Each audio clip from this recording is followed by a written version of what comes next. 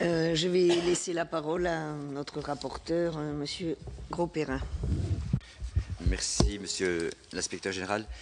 Euh, mes collègues, bien sûr, euh, poseront un ensemble de questions complémentaires à ce que je, vais, poser, en tout cas au niveau de, l'installation du débat.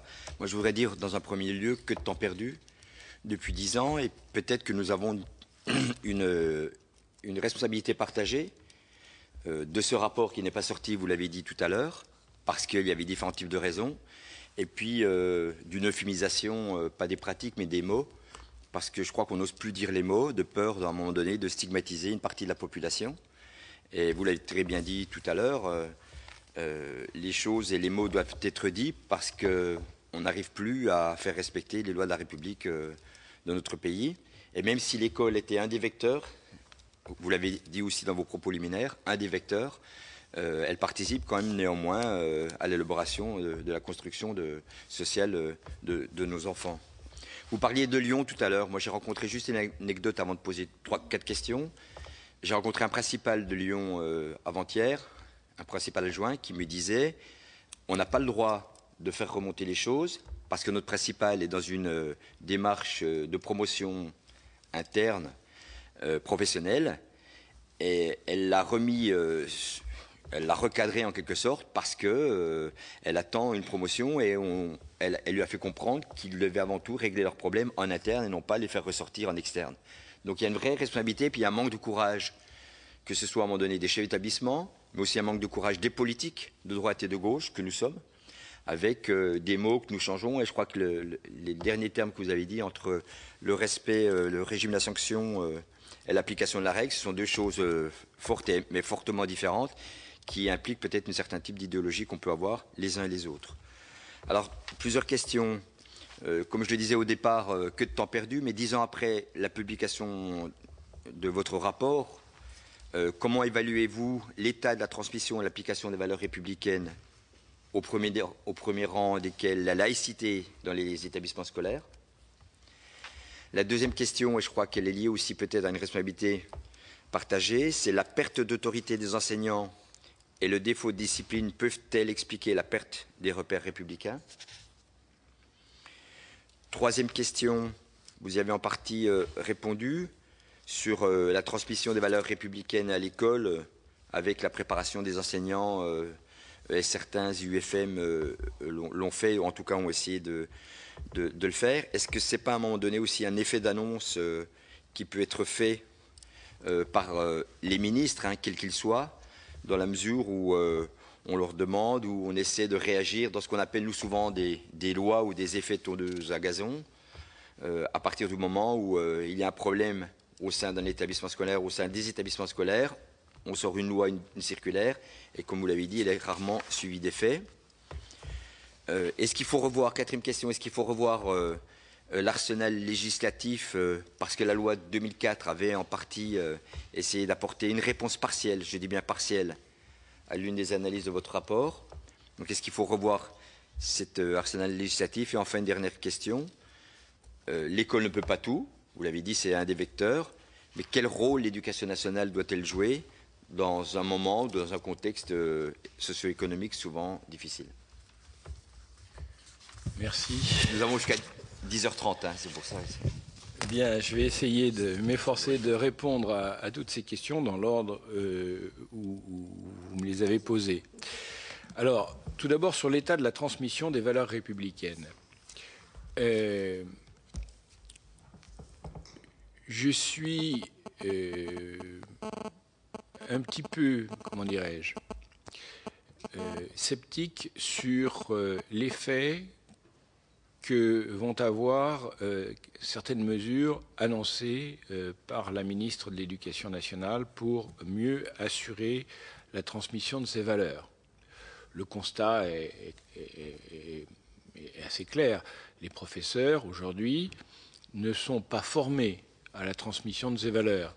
Certes, l'article L111 du Code de l'éducation stipule que, outre la transmission des connaissances, la première mission de l'école est de faire partager aux élèves les valeurs de la République, mais cet article euh, n'a pas euh, trouvé euh, concrètement de traduction dans les missions concrètes données aux professeurs, dans le second degré en tout cas, et surtout sur le leurs compétences à le faire, sur leur formation.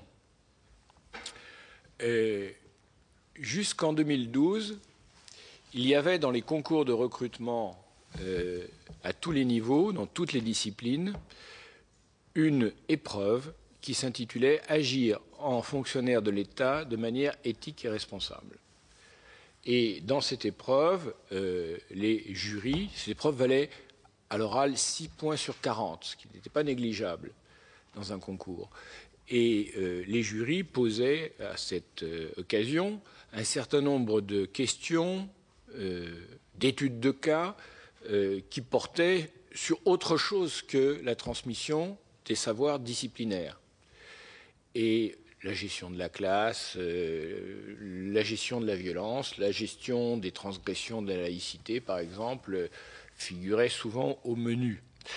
Euh, et les universités, les UFM à l'époque, y préparaient plus ou moins.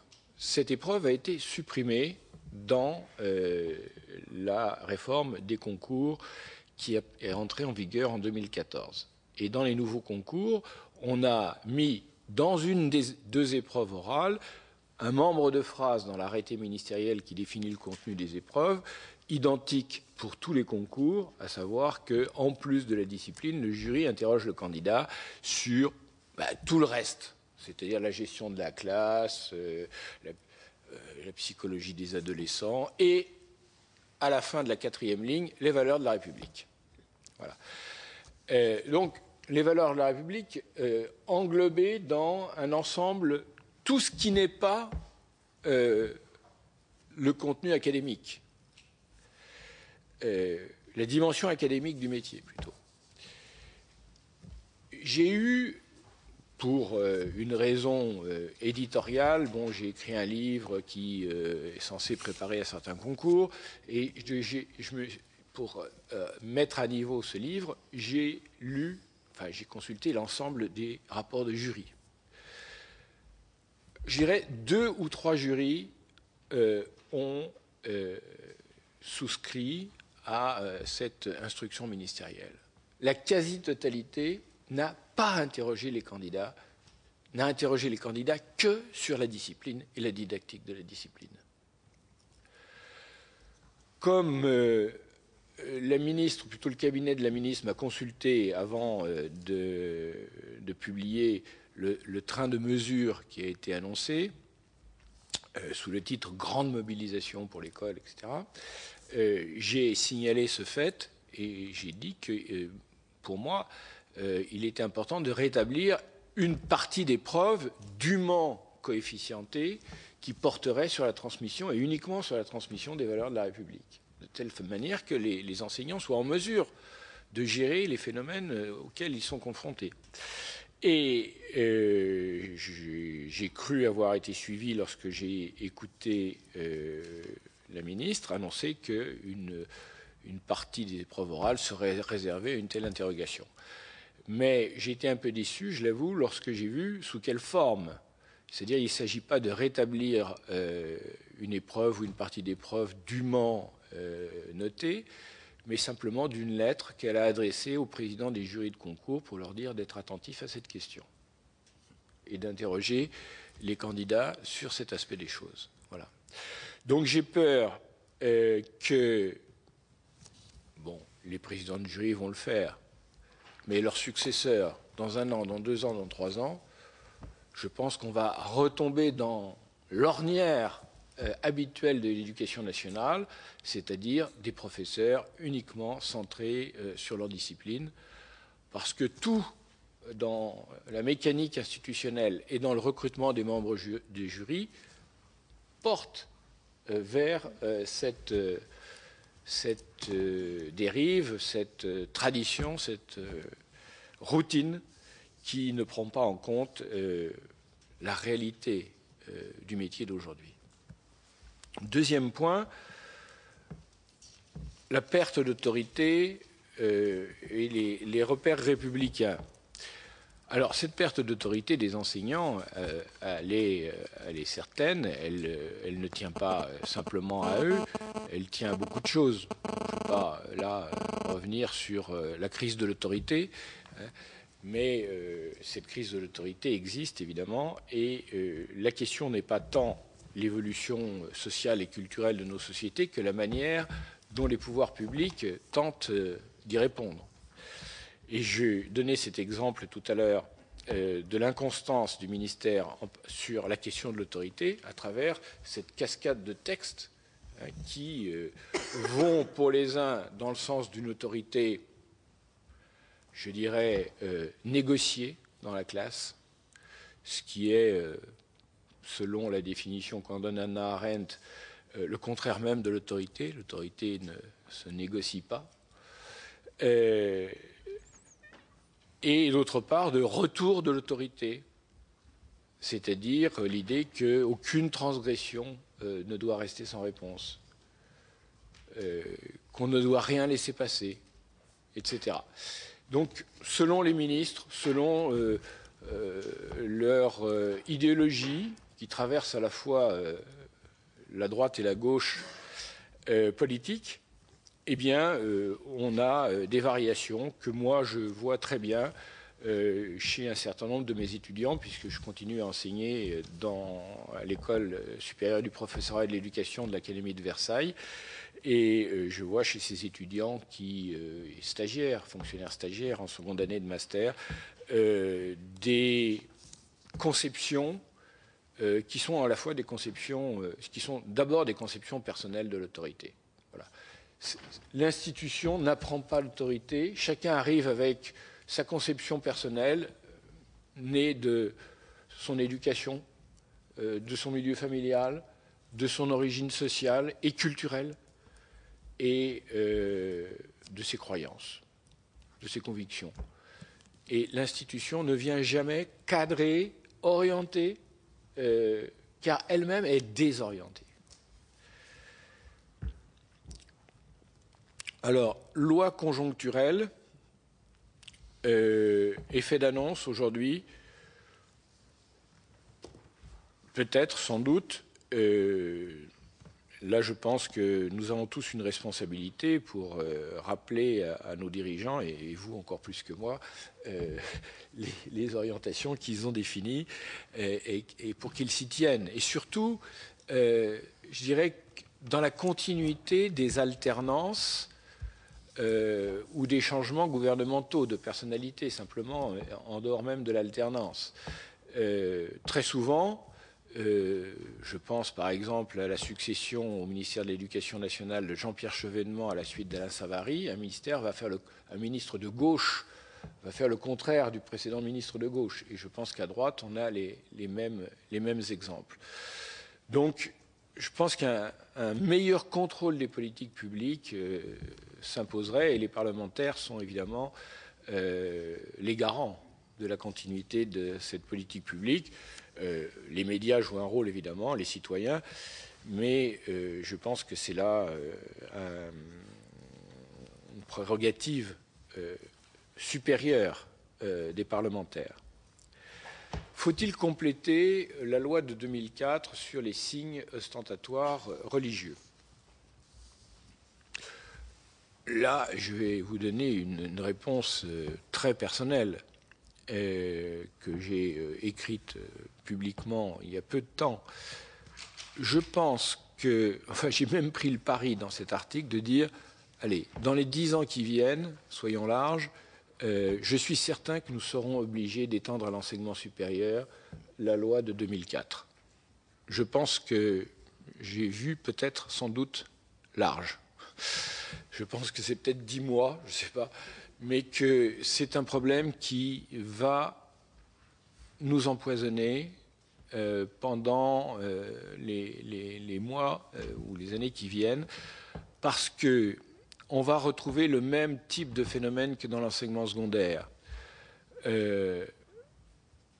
la pusillanimité d'un certain nombre de responsables face à des agressions, face à des transgressions, face à des, interventions euh, politico-religieuses sur les bancs de l'université va entraîner chez, dans les groupes qui sont derrière ces, manifestations, qui sont des groupes constitués, le sentiment qu'on peut aller encore plus loin.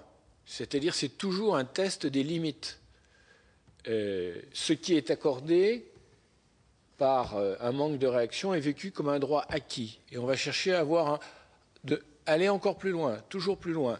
Et à un moment, donné, évidemment, cela euh, apparaît euh, à l'opinion tellement scandaleux qu'on est obligé de mettre des règles. Je sais qu'aujourd'hui, les universités, alors quand je parle d'enseignement supérieur, je voudrais préciser, contrairement à une idée répandue, euh, l'enseignement supérieur est déjà concerné en très grande partie par euh, la loi de 2004. Beaucoup d'étudiants sont étudiants en classe préparatoire en grandes écoles, en BTS, dans d'autres formations supérieures inscrites dans les lycées et d'autres établissements publics secondaires. Et cette partie euh, qui représente plus de 20% des étudiants est soumise à la loi de 2004 contrairement à ce qu'a affirmé récemment un euh, prétendu spécialiste de la laïcité, je parle de Jean Bobéro, euh, sur euh, une, chaîne de radio, la loi de 2004 ne s'applique nullement aux élèves mineurs, comme il l'a prétendu, à tous les élèves, mineurs et majeurs, pré- et post-bac. Et je pense que assez rapidement, euh, on va être obligé d'examiner cette question, car les universités, dont aujourd'hui euh, le règlement intérieur peut euh, contraindre un certain nombre de limites dans l'expression des convictions religieuses à l'intérieur des universités, mais ne le fait que très rarement, vont, que, l'État, enfin le, Parlement va être obligé de prendre, je pense, une initiative générale, euh, car on ne peut pas aujourd'hui laisser cette initiative aux seuls établissements. Euh, faut-il introduire dans la loi euh, d'autres champs que l'interdiction des signes ostentatoires? Par exemple, l'interdiction de contester l'enseignement. Je ne le pense pas, car euh, l'arsenal législatif et réglementaire aujourd'hui sur l'obligation de l'enseignement permet de sanctionner euh, ces, ces, transgressions. sur les règles de la vie scolaire également, je pense que ces règles, affirmées dans le règlement intérieur, sont suffisantes pour les interdire les sanctionner. Sur les violences, le code pénal est là pour euh, sanctionner les violences qui sont commises contre les filles, par exemple, euh, les propos euh, discriminatoires, homophobes qui se multiplient, l'antisémitisme, etc. L'arsenal pénal me semble suffisant. Donc, voilà, faut-il le rappeler dans des circulaires sans doute faut-il légiférer sur cette question? Je ne le pense pas. Quant à la dernière question, Monsieur le Sénateur, sur le rôle de l'éducation nationale euh, dans la transmission des valeurs de la République et plus généralement sur les problèmes de cohésion sociale qui sont posés aujourd'hui et de citoyenneté qui sont posés aujourd'hui par les événements récents, je pense que ce rôle est important qu'il ne doit pas être non plus euh, surestimé, qu'on ne peut pas confier à l'école euh, des missions qui euh, la dépassent largement. Je pense en particulier à cette mission d'intégration d'une partie de la jeunesse qui fait aujourd'hui sécession. je pense que ce sont des politiques publiques beaucoup plus larges, notamment sur la mixité sociale, bien évidemment dans l'école, mais également dans l'habitat, euh, qui doivent être développées et plus largement des, politiques qui s'attachent euh, à réduire les inégalités, les discriminations euh, dont souffrent un certain nombre de populations et qui sont quand même une part du terreau sur lequel se développent ces transgressions. Je dis une part parce que je ne veux pas évacuer quand même le, contexte géopolitique qui est pour euh, une part de plus en plus grande aujourd'hui hein, et qui ne dépend pas uniquement de nous, mais là encore dans lequel la France, vous le savez, euh, s'implique à travers ses actions extérieures. Voilà, un rôle de l'éducation nationale qui doit être pris au sérieux, qui doit vraiment être vigoureux. Je dirais que les annonces, je répète, les annonces actuelles vont toutes dans le bon sens. Euh, elles auraient pu, euh, ces mesures, aller plus loin. J'ai donné un seul exemple sur la formation des enseignants, mais on pourrait en donner d'autres où on a l'impression qu'on ne veut pas aller au bout du chemin. Je terminerai quand même par euh, bon, un plaidoyer pour l'éducation nationale, si je peux dire. Dans, beaucoup de rapports, dont le mien, euh, on dit, on affirme, rien ne peut se faire sans une nouvelle formation, un effort de formation continue des enseignants. Les enseignants sont toujours sur des compétences qui sont de moins en moins en rapport avec leur mission réelle. Une enquête qui date d'une dizaine d'années, tout à fait euh, étonnante, on demandait euh, à un panel d'enseignants représentatifs quels étaient le métier réel et le métier idéal. Leur conception du métier et puis ce qu'ils avaient à faire dans, les classes, c'était tout à fait stupéfiant. C'est-à-dire qu'il n'y a pratiquement aucun rapport entre eux, ce qu'ils rêvent être leur métier, sur la base de leur engagement, de leur conviction, de leur concours, de leurs compétences, et ce qu'ils sont contraints de faire, je dirais, normalement dans les classes avec les élèves en chair et en os qui sont devant eux. Tant, que la puissance publique euh, voilà, ne s'efforcera pas de rapprocher ces deux points de vue et de leur dire, comme dans beaucoup de pays étrangers, voilà les élèves que vous allez avoir. Ils sont comme ça. Il y en a 30% euh, qui vont vous poser des problèmes euh, difficiles, qui, vont être en difficulté. Et parmi ces 30%, il y en a encore 10% que vous n'arriverez pas à faire progresser enfin, dont la progression ne dépend pas de vous. Euh, et, formons les professeurs à leur métier réel. Voilà, leur métier réel et pas un métier qui est celui du 19e siècle lorsque euh, les lycées euh, scolarisaient 3% de la population.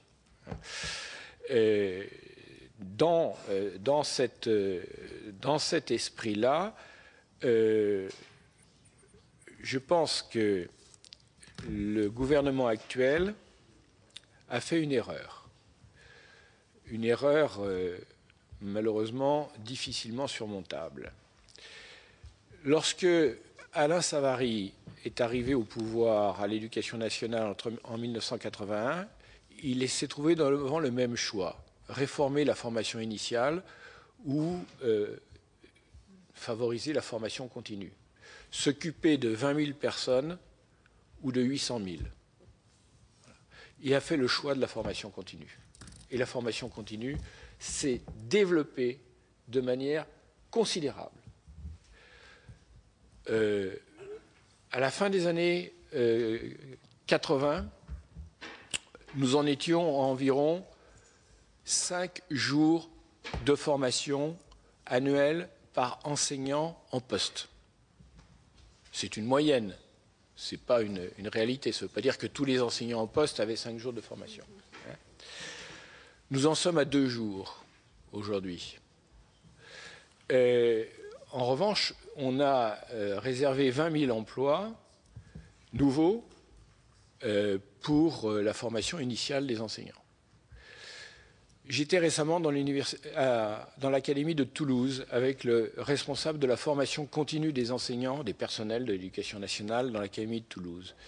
Il me dit voilà, j'ai fait tous mes calculs, tout poste de dépenses confondu, je dispose de 250 euros par personne en formation continue. Sur ces 250 euros, 225 vont aux frais de déplacement des stagiaires. Voilà, il me reste 25 euros pour la formation proprement dite par personne. Nous sommes, je reprends les mots euh, du président de la République, dans une déshérence de la formation continue. On ne peut pas avoir les objectifs ambitieux que nous avons aujourd'hui en matière de citoyenneté, euh, de transmission des valeurs, euh, plus généralement de réforme du collège, de rapprochement de l'école et du collège, sans un puissant effort de formation continue. Sinon, les enseignants euh, vont non seulement être des freins, mais ils vont développer de l'hostilité par rapport à tout ça.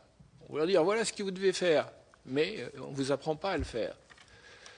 Donc, si nous voulons vraiment redévelopper la formation continue, il faut un puissant effort budgétaire d'abord. C'est une condition de départ, évidemment, ce n'est pas la seule. Et euh, je crains que le développement de la formation initiale, enfin la réforme de la formation initiale sur la base de la création de 20 000 emplois, ne plombe euh, cette euh, possibilité durablement. Je pense que c'est un, mauvais choix qui a été fait là. Merci beaucoup pour vos réponses très claires, chers collègues. Qui a une question Monsieur Magnier? Et Madame Blandin, vous... Écoutez, euh, je ne sais pas si je vais avoir des questions pertinentes après tout ce qui vient de nous être dit, et notamment votre conclusion qui, qui, laisse à penser que les problèmes euh, seraient aggravés par le gouvernement actuel, alors qu'il avait pensé bien faire, j'imagine, dans le cadre de la refondation de l'école, de remettre au goût du jour la formation des enseignants, même si c'est la formation initiale, euh, il me semble quand même que la masterisation telle qu'elle était prévue précédemment, euh, avec le manque de formation à la pédagogie, ce qui semble bien être un des problèmes de, nos enseignants aujourd'hui, euh, avait donné quand même des signes qui permettaient d'encourager un peu l'attractivité des métiers d'enseignant, puisque aussi on peut s'apercevoir que dans les dernières années, les jeunes étudiants ne venaient plus vers les métiers d'enseignant. Or, les quelques annonces qui ont pu être faites sur leur formation euh, pouvaient permettre euh, de voir une augmentation de la de, l'attractivité du métier, puisque euh, plus de 20 à 30% d'étudiants en plus sont venus dans les ESP par rapport à ce qui existait auparavant. Bon, peut-être qu'on s'est trompé. Comme vous l'avez dit, il fallait peut-être insister plus sur la formation complémentaire, enfin la formation continue des enseignants.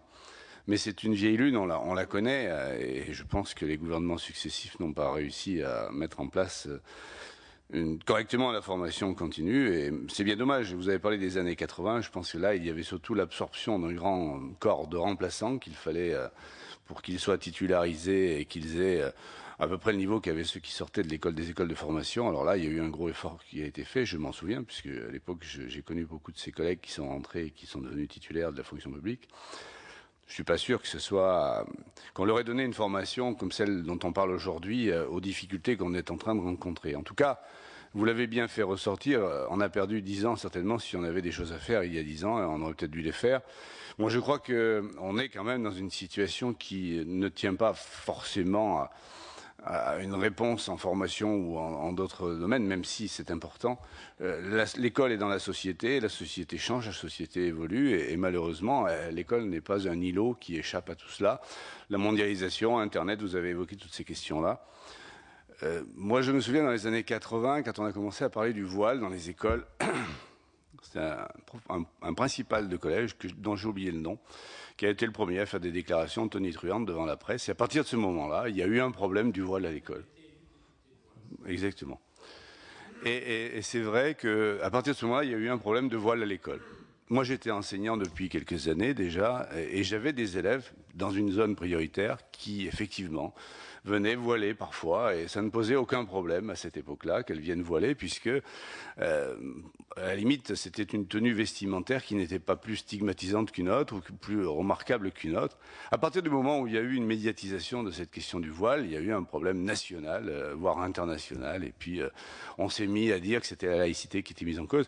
Moi, je peux vous assurer qu'on recevait à cette époque-là beaucoup de jeunes Turcs qui arrivaient dans nos écoles de zone prioritaire Euh, certaines étaient voilées, d'autres ne l'étaient pas, suivant la façon dont on en parlait avec leur famille, dont la famille était euh, perméable ou imperméable aux, valeurs de, l'école et, de la République. Et, quand on arrivait à discuter avec les parents d'élèves, eh bien, il n'y avait aucun problème pour que les élèves à l'école ne portent pas de voile. Mais à l'époque, je vous dis, on ne posait pas ce problème-là, puisque ça n'était pas un problème euh, qui d'agression vis-à-vis de l'école, vis-à-vis des valeurs de la République, vis-à-vis de la laïcité. Et petit à petit, les choses se sont emballées. On, a, sur tous ces signes distinctifs, fait tout un, un problème qui a été, je pense, entretenu par les médias et dont s'est saisie une formation politique, effectivement, qui petit à petit a fait son, son miel sur cette affaire. Et c'est pour ça qu'aujourd'hui, on voit bien que dans la, vie publique, la vie politique, euh, même si c'est insidieux, eh bien tout cela est utilisé, et c'est très malheureux que ça le soit. Et moi, je pense que les forces démocratiques, les partis démocratiques, alors on n'a pas, on n'est pas là pour euh, pour mettre euh, la poussière sous le tapis et dire il n'y a pas de problème. Mais je crois aussi qu'on a très intérêt à faire très attention à la publicité que l'on donne à tout cela. Vous avez dépeint des situations qui sont, quand on est enseignant ou quand on s'intéresse à, l'école, qui paraissent dramatiques et qui disent euh, tout est perdu, on ne peut rien faire, on n'arrive pas à trouver de solution. Or, les situations que vous avez décrites, elles existent dans certains quartiers, c'est vrai. Il ne faut pas les nier. Mais moi qui suis élu euh, dans un secteur rural, euh, dans des secteurs périurbains, je vois cela, les choses se passent plutôt bien. J'étais encore la, semaine dernière dans un forum des collégiens pour le lycée. J'ai rencontré 1500 euh, collégiens qui, de toutes origines, n'ont pas ces questions, ne se posent pas ces questions, regardent effectivement vers l'avenir, regardent quel métier vont pouvoir, vers quel métier ils vont pouvoir aller. Mais je, je, pense que quand on parle avec les professeurs, ce ne sont pas les préoccupations d'un grand nombre d'enseignants majeures et prioritaires que ces questions de provocation par rapport aux valeurs de la République. Elles existent. À mon avis, il y a un tort aujourd'hui, c'est de les mettre en avant sur la place publique en permanence, et je crois que l'effet d'entraînement se fait. Et il se fait tellement bien qu'aujourd'hui, on ne parle plus que de cela. Euh, on met en cause, euh, bien entendu, d'abord le gouvernement, le ministre de l'Éducation nationale, c'est normal, c'est lui qui est en responsabilité. On met en cause d'une manière un peu euh, euh, souterraine, les enseignants et, la façon dont ils ont manqué d'autorité, une manque d'autorité. Comme vous l'avez dit, l'autorité, ça ne se décrète pas, ça, ne s'acquiert pas, c'est un peu... Mais ça s'apprend quand même à diriger une classe, la pédagogie. Alors, euh, bon, euh, moi je n'ai une question, la question que je voulais vous poser, mais vous y avez un peu répondu, c'est depuis que vous avez fait ce rapport, c'est-à-dire dans le début des années 2000, jusqu'à aujourd'hui, est-ce que vous pensez que les choses se sont euh, tellement aggravées On pourrait dire, à ce que vous avez dit, à ce que vous en venez d'entendre, que oui, qu'elles se sont vraiment aggravées.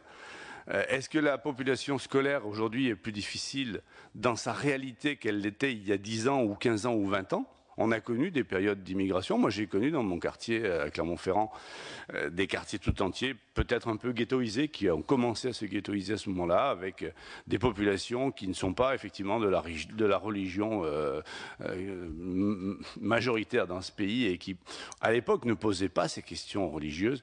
Et je, je crains que, en donnant l'écho qu'on est en train de donner après les malheureux et graves événements du début janvier, on finisse, et cette mission d'enquête euh, y participe, euh, euh, puisque nous avions pensé qu'effectivement il y avait des choses à faire à une mission d'information. Mais cette mission d'enquête, voilà, participe à mon avis et peut-être un petit peu à crisper les choses. Alors ma question c'est, est-ce que vous pensez qu'aujourd'hui il y a une aggravation considérable depuis les dix ans de ce rapport? Alors on va prendre plusieurs questions et essayer que ce soit des questions, puisque le débat, nous l'aurons entre nous à différents moments de cette commission d'enquête. Madame Blondet.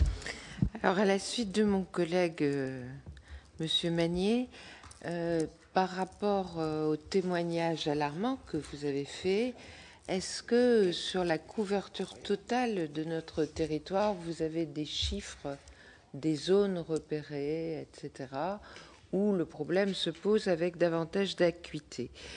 Le tableau que vous nous avez fait est très sombre. Euh, ce n'est pas l'auteur de la loi sur les lanceurs d'alerte qui va contester la pertinence de ces propos. Simplement, euh, j'appellerai aussi à la relativisation. Euh, les anciens enseignants que certains d'entre nous sommes avons connu des adolescents ravis de se mettre sous la peau de l'encre pour faire figurer des croix gammées, sans même savoir bien de quoi il s'agissait, ne les brandissant que dans un réflexe de turbulence pour indisposer l'autorité. Ça n'en est pas moins contestable, mais ce n'était pas un engouement pour une cause. Donc il faut savoir relativiser. Vous avez dans votre propos euh, évoqué euh, la théorie du complot et le fait que nos jeunes se nourrissent euh, sur Internet et croient à n'importe quoi. Je voudrais quand même signaler que dans un pays où la publicité leur dit que certains shampoings font repousser les cheveux et certaines crèmes donnent 20 ans de moins, nous ne contribuons pas à la rationalité de l'ensemble de la population. Et je vous interroge donc sur la pertinence de solidifier un peu la culture scientifique, car c'est un outil de choix pour lutter contre ces dérives. D'autre part, euh, si les jeunes sont si fragiles face à Internet et à certains médias, c'est peut-être aussi parce que les organismes qui font de l'éducation aux médias n'ont jamais eu autant, aussi peu de moyens. Le Clémy, Mediapt, etc. n'ont plus de moyens. Il nous faut les soutenir. Peut-être que, euh, après les événements tragiques que nous avons connus, les titres de presse pourraient faire une fondation pour aider à l'éducation aux médias. Qu'en pensez-vous? Vous avez évoqué un formateur inquiétant encore en poste. Je ah, qui, qui n'a pas été inquiété le temps d'accord, mais qui n'a pas été inquiété dans les délais que vous auriez souhaités. En tout cas, voilà. Euh, immédiatement, sans doute pas. Il n'a pas été inquiété immédiatement.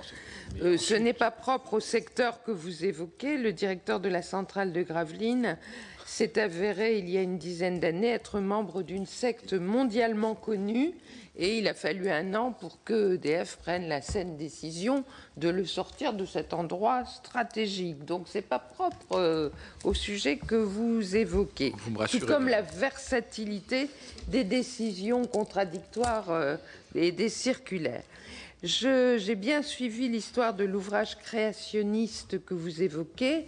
D'ailleurs, j'étais à la source de l'interpellation du ministre Darcos qui a répondu avec efficacité puisqu'il a organisé deux, trois jours de colloques de formation avec tous les membres du muséum sur ce qu'est Darwin, ce qu'est la génétique, ce qu'est l'évolution, ce qu'est la diversité génétique, et ça revient encore à la culture scientifique.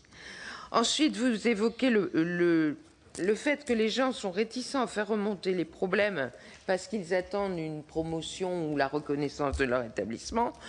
Heureusement, la nouvelle loi de refondation de l'école ne met plus les établissements en compétition, parce qu'il fallait tuer le voisin pour exister. Ça contribuait à taire les choses. Enfin, je termine avec la formation. Vous évoquez formons à un métier réel. Ce n'est pas ce que nous avons entendu dans la bouche de M. Finkelkraut, qui était uniquement sur la transmission des savoirs et pas sur la formation pédagogique. Donc je suis heureuse d'entendre votre appel. Mais sur la formation continue, ne faudrait-il pas une gouvernance de cette formation continue?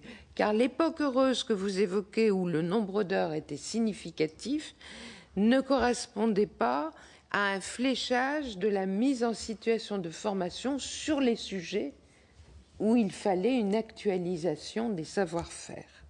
Voilà, euh, j'ai pas aimé quand vous avez dit les élèves juifs. Euh, je pense que nous aussi, il faut que nous corrigions tous le vocabulaire. Il n'y a que des citoyens.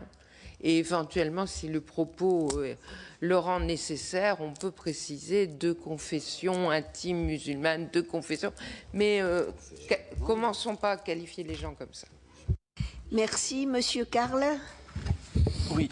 Merci, Monsieur Aubin, de nous avoir rappelé les grandes lignes de, votre rapport, ce qui me fait encore regretter davantage que nous n'ayons pas eu le courage politique de euh, le euh, publier euh, en son temps. Ça nous aurait permis, pour reprendre l'expression de Jean-Bernard Magnier, peut-être de gagner quelques années pour améliorer peut-être ce manque de, clarté, de stabilité, hein, et, pour reprendre vos termes, Monsieur Aubin, d'inconstance de l'autorité cette inconstance qui me semble moi résulter hein, d'une euh, posture hein, qui est la nôtre, qui est celle d'opposer l'éducation et la sanction. au contraire, je crois qu'il faut conjuguer éducation et sanction. Ça m'avait marqué, hein, puisque j'ai commis un rapport il y a quelques années sur la délinquance des mineurs que nous avions euh, intitulé à l'époque, appelé euh, La République en quête de, respect. Mais cette situation, je crois qu'elle dépasse le seul contexte ou la seule responsabilité de l'école et est-ce qu'elle n'est pas, j'allais dire, le fait, alors peut-être d'un manque de moyens en termes de formation, tout à fait euh, d'accord, mais est-ce que c'est pas le fait aussi qu'il n'y ait pas de cohérence ou suffisamment de cohérence entre les différentes politiques sur la famille, sur l'école et sur la ville hein, et qu'on est dans une société qui vit, j'allais dire, autour de, de, défaillance autour des cercles concentriques, autour du jeune? À défaillance de, la famille qui demande à l'école hein, de la remplacer, c'est pas son rôle, à l'école qui est concurrencée par la rue, et chacun sait hein, que quand il y a une concurrence entre la rue et l'école, c'est toujours la rue euh, qui l'emporte, et est-ce qu'il ne faudrait pas plus de cohérence? Les moyens, ils y sont, puisque ces trois politiques, ça doit faire à peu près la moitié du budget de, euh, la nation. Est-ce que ce n'est pas ce manque de cohérence hein, entre euh, ces trois politiques, et qu'il ne faudrait pas qu'il y ait un super ministre qui euh, ait cette responsabilité transversale hein, pour qu'il y ait, je veux dire, justement plus de, plus de cohérence. Merci. La dernière, Monsieur Savin. Merci, Madame la Présidente. Euh, D'abord, euh, merci pour cette présentation, alors qui peut paraître un petit peu alarmiste, mais qui, je pense, est, est assez réaliste, malheureusement, lorsqu'on voit les situations dans certains établissements scolaires. Alors, après à voir si c'est quelque chose qui est de façon généralisée ou pas, mais il est vrai que certains établissements, on trouve ce, type de comportement. Euh, ne pensez-vous pas que qu'il est difficile aujourd'hui, euh, voire presque impossible à, à certains enseignants, d'avoir une autorité euh, vis-à-vis d'une partie de la population qui est jeune, hein, qui, qui, fréquente les établissements scolaires, notamment ces jeunes d'origine étrangère et qui se réclamant aujourd'hui de l'islam. Vous l'avez dit tout à l'heure, est-ce qu'aujourd'hui les enseignants n'ont pas, par crainte d'être taxés euh, d'islamophobie ou autre, de plutôt reculer, de dire, bah, écoutez, voilà, je, démissionne, quand je dis démissionne entre guillemets, de dire, je ne prends pas de sanctions, je ne suis pas autoritaire, parce que je ne veux pas être taxé ou, ou, ou de, focaliser sur une partie de la population jeune qui peut euh, avoir posé des problèmes dans un établissement scolaire. Et, vous l'avez dit tout à l'heure, parce qu'il y a chaque fois un petit peu de la provocation, on pousse euh, le bouchon pour voir jusqu'au moment où, où euh, la sanction va tomber. Et euh, moi, j'ai une crainte, c'est qu'il y ait une démission euh, de l'autorité par rapport à cette, sur cette augmentation de, de, euh, focaliser une partie de la population jeune, notamment euh, celle qui se réclame donc de l'islam.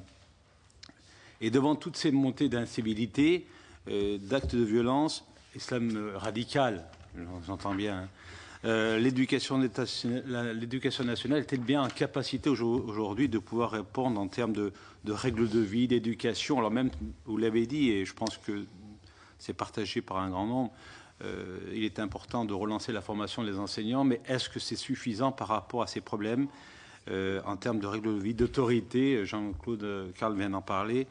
Donc je voulais avoir votre point de vue là-dessus. Merci. Donc, euh, on va demander à euh, Monsieur Aubin de répondre parce que ça fait déjà beaucoup et en fonction, on verra le temps. Euh, on va essayer. Voilà.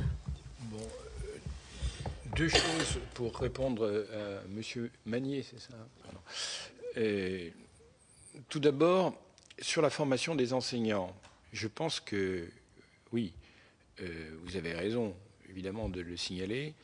Euh, la suppression, il y a quelques années, de toute formation initiale euh, pour les enseignants a été catastrophique. Ce qu'on a appelé la masterisation. En fait, ce n'est pas la masterisation en tant que telle, c'est le fait que cet accès au master des nouveaux enseignants ait été euh, faite dans les conditions où elle a été faite, c'est-à-dire en supprimant toute formation professionnelle initiale avec euh, bon, les, drames que ça a pu provoquer pour un certain nombre de jeunes enseignants qui se trouvent dans des positions, euh, dans des postes extrêmement difficiles, sans aucune formation préalable. Et je vous signale qu'aujourd'hui, dans l'Académie de Créteil, par exemple, d'après les chiffres qu'on m'a donnés hier, il y a sans doute car le ministère ne les publie pas, 25% de démission des professeurs des écoles dans les 5 ans qui suivent leur nomination. Des, chiffres qui seraient, je dis ça sous toute réserve, mais c'est un responsable de l'Académie de Créteil qui, m'a dit ça hier, euh, des chiffres qui sont méconnus ou, peut-être dissimulés, je ne sais pas. Bon, l'Académie de Créteil n'est pas euh, l'ensemble de, la France non plus, hein, mais enfin on a là euh, des vraies difficultés de, recrutement, même avec le rétablissement de la formation, même avec le, le rétablissement de la formation. Euh, c'est pas ça, évidemment. Le rétablissement de cette formation était absolument nécessaire. et, c'était même une priorité plus grande que celle de la formation continue, je vous le concède. Mais ce que je critique, c'est les conditions budgétaires.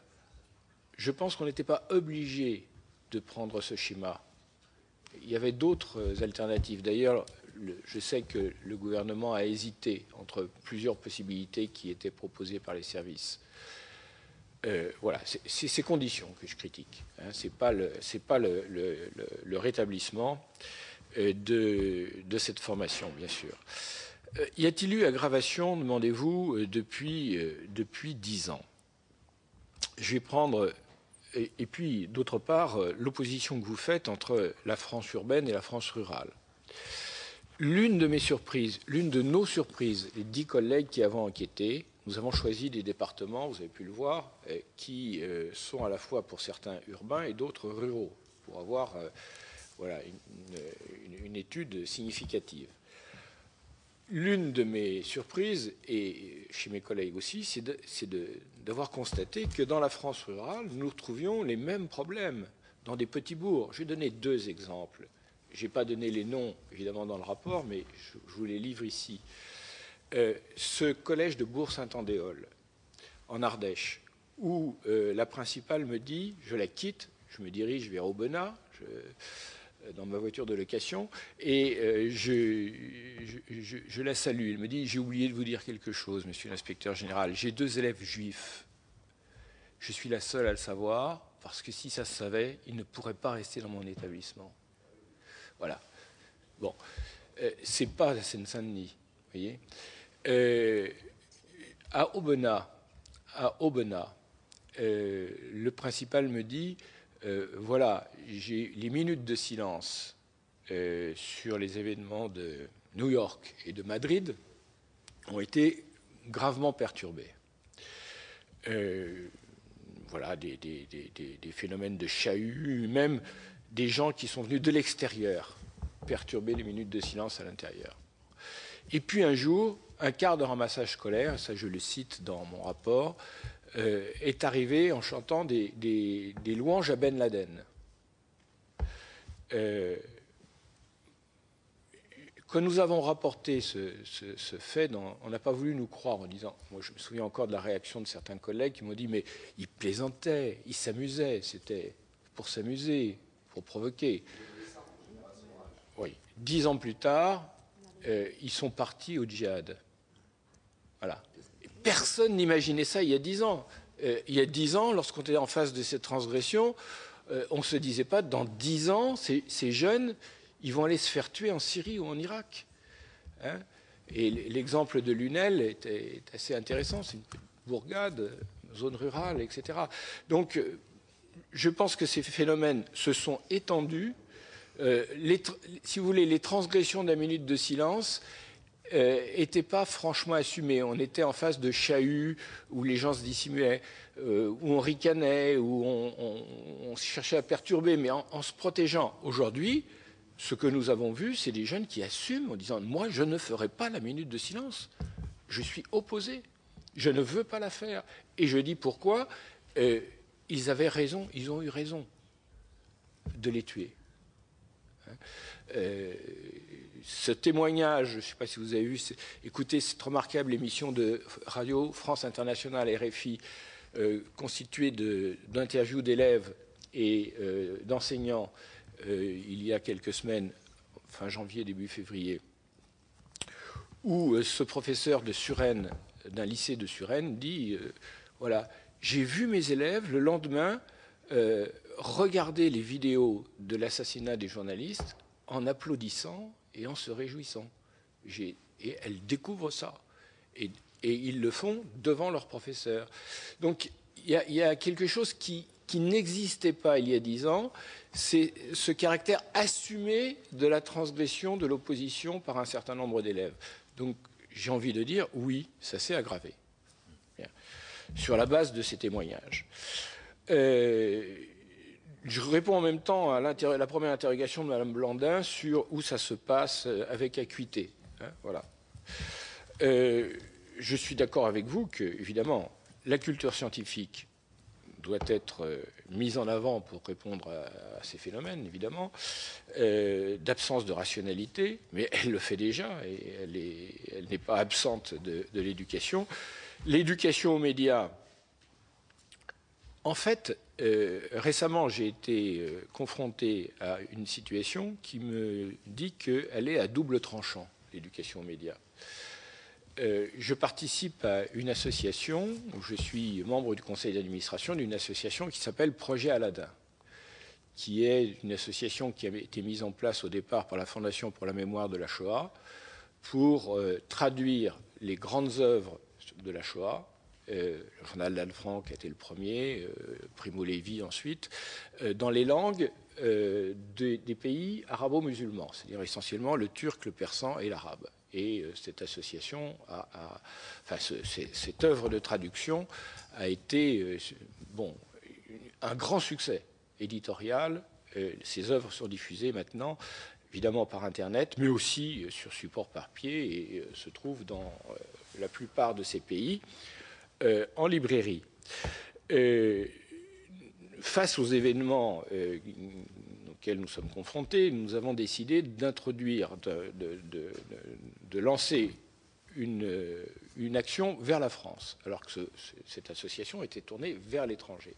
Action de formation des professeurs d'histoire-géographie à l'histoire des relations judéo-musulmanes. Et nous avons eu une journée à Toulouse qui a euh, euh, rencontré un grand succès. Euh, question, doit-on chercher et, comment à mieux éduquer les élèves aux médias face à ces phénomènes de, de, croyances, rumeurs, enfin de, croyances dans les récits conspirationnistes hein, et, d'irrationalité? Et la présidente du projet me dit ben, on pourrait demander à des journalistes, à des médias, etc., de leur montrer comment, euh, à partir d'un document, on peut le manipuler, comment...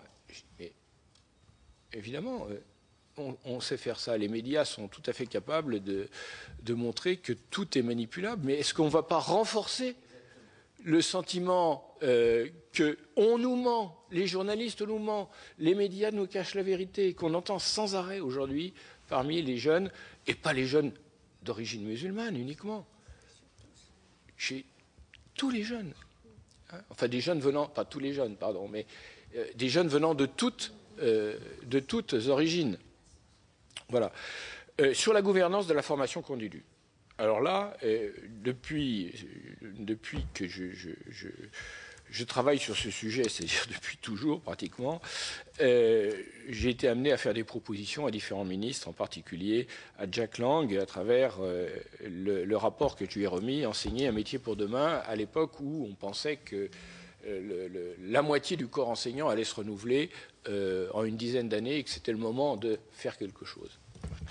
la proposition était la suivante la formation continue est toujours le parent pauvre en période de vache maigre. Pourquoi? Parce qu'on va toujours privilégier la rentrée scolaire, hein, l'urgent, les professeurs dans les classes, plutôt que les formateurs et l'investissement pour l'avenir.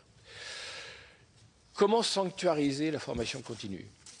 Eh bien, l'idée, c'est la création d'une agence, c'est-à-dire une création d'une instance indépendante du ministère euh, qui serait euh, capable de pérenniser un budget, de le sauvegarder et euh, de, en même temps de le gouverner en associant les, euh, représentants des personnels, les représentants des parents, etc., dans une gouvernance euh, un, peu plus, un peu moins opaque qu'aujourd'hui.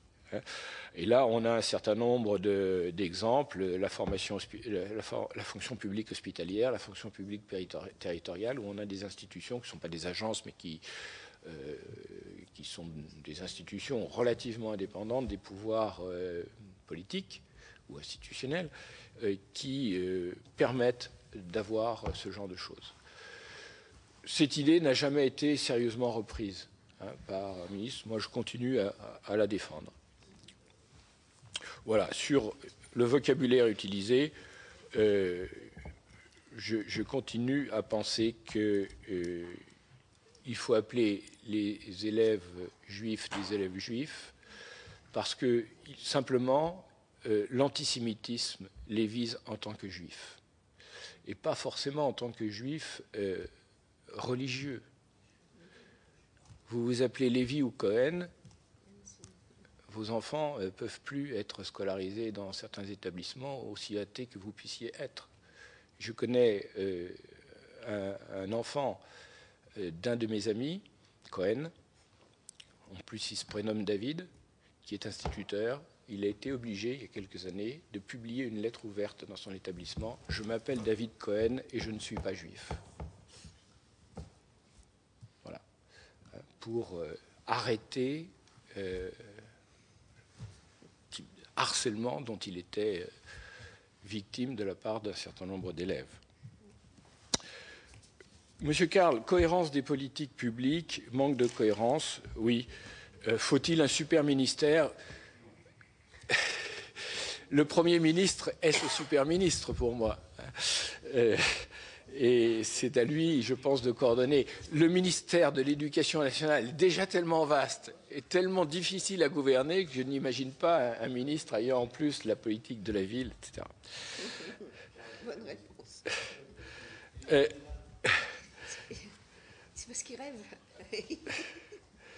Euh, monsieur Savin, euh, aujourd'hui est-il euh, impossible d'exercer l'autorité? Alors, moi, ce que j'observe, c'est qu'il y a, notamment chez les jeunes enseignants qui n'ont pas été formés, une vraie difficulté à comprendre ce qu'est l'autorité et donc à l'exercer. Et ils n'ont pas de formation simplement pour leur expliquer euh, en quoi consiste l'autorité éducative. Et une formation pratique toute simple, des professeurs qui savent très bien exercer l'autorité et dans les classes desquelles ils pourraient aller voir en pratique comment elle s'exerce. Je, suis, euh, je travaille beaucoup avec euh, mes, étudiants, mais aussi avec les personnels d'éducation, euh, d'encadrement, que je forme à l'école supérieure de l'éducation nationale à Poitiers sur des études de cas réels. Et euh, dans beaucoup d'études de cas, euh, de, difficultés à enseigner, auxquelles notamment les chefs d'établissement sont confrontés, qu'ils ont à gérer, on se retrouve dans la situation suivante.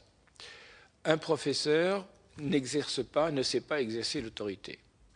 Soit par conviction, il ne souhaite pas l'exercer, il trouve que ce n'est pas bien euh, d'être autoritaire, d'avoir de l'autorité, etc. Et il cherche à développer des relations de, de camaraderie, de copinage quelquefois, de séduction euh, avec ses élèves. Soit il est chahuté tout simplement et, il ne parvient pas à comprendre ce qui se passe dans ce phénomène de chahut. Et euh, il arrive en conseil de classe en disant, euh, voilà, cette classe est insupportable, il faut faire quelque chose. Et il se trouve face à trois ou quatre collègues qui lui disent, écoute, excuse-moi, mais moi, j'ai aucun problème avec cette classe. Et il se trouve profondément dévalorisé, culpabilisé dans cette situation face à, ce constat qu'avec les mêmes élèves, certains s'en sortent très bien et d'autres ne savent pas euh, du tout euh, travailler, enseigner. Cette situation est plus fréquente qu'on ne le pense. Hein. et elle montre tout simplement que euh, cette, cette difficulté d'exercer l'autorité n'est nullement généralisée aujourd'hui dans l'éducation nationale, y compris dans les endroits réputés difficiles. Je ne sais pas si vous avez vu ce film remarquable qui s'appelle Les héritiers. que du bonheur, comme vous dites, Madame la sénatrice. Il faut le voir. Hein. Ce n'est pas une fiction, c'est une, réalité vécue par euh, une classe, une enseignante, un groupe d'élèves. Voilà, cette femme, elle sait exercer l'autorité, dans des situations avec des élèves particulièrement, euh, particulièrement agités, je dirais. Hein, et elle les fait réussir. Tel autre enseignant aurait été complètement désarmé, perdu euh, face à ces élèves-là. Donc, exercer l'autorité, ça existe. L'éducation nationale n'est pas euh, entièrement perturbée par euh, ce phénomène, mais ça s'apprend, et surtout, du point de vue qui nous intéresse ici, les politiques publiques, ça se favorise. Hein. ce que j'appelais l'inconstance par rapport à l'autorité, il faudrait une fois pour toutes hein, qu'un gouvernement nous dise voilà la bonne conception de l'autorité, c'est pas ces allers-retours, c'est pas ces revirements. Euh, il faut de l'autorité. Voilà ce qu'est l'autorité éducative et voilà, on va l'introduire comme une formation dans les SP et on va y former. Mais euh, nos chers universitaires que je rencontre dans les SP, qui travaillent sur cette question, ont des conceptions évidemment extrêmement diverses sur l'autorité. Hein. Euh, dans l'université de Cergy-Pontoise où je travaille, j'ai un collègue qui est spécialiste de l'autorité. Bah, il va développer une, conception euh, plutôt, je dirais, ouverte de l'autorité, euh, moderne, bienveillante, comme on dit aujourd'hui, bienveillante. Hein. Euh, d'autres vont appliquer une conception plus traditionnelle. Voilà, il faut des règles et il faut que ces règles soient suivi des faits, etc. Euh, ces conceptions existent dans leur diversité dans la société et c'est normal. Mais le ministère de l'Éducation nationale, lui, ne doit-il pas avoir une éthique éducative hein, Une position? Voilà la question que je pose. Merci beaucoup. Euh, je pense que je vais être obligée d'arrêter cette audition. Euh, je pense que nous pourrions passer encore beaucoup de temps avec vous, mais je suis aussi euh, la gardienne du temps. Je vous remercie.